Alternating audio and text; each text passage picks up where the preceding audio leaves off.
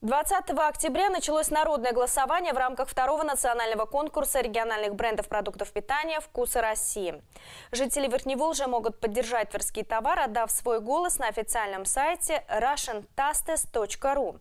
Тройку победителей в этой номинации определяют большинством голосов. Заключительный день голосования намечен на 7 ноября.